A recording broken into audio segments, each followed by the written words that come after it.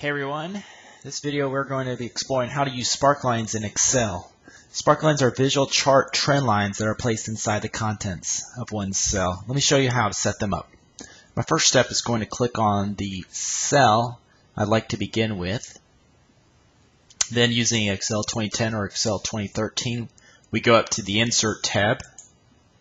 From the Insert tab, we'll see the Sparklines group. I'll click Line It'll ask me to choose the data that you want. My data range in this case is going from D4 through O4.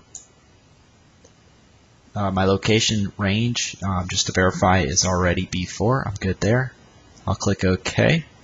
And I see uh, a sparkline now showing the trends of these 12 numbers to the side here. And that can be very helpful when I'm trying to analyze the rest of the rows of data with this.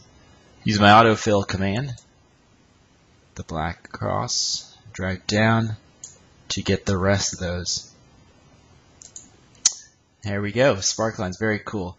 Um, the first thing that I see is uh, of these here, most of these states are trending upwards towards the end of the year, but the state that's going started off high and is ending low is California.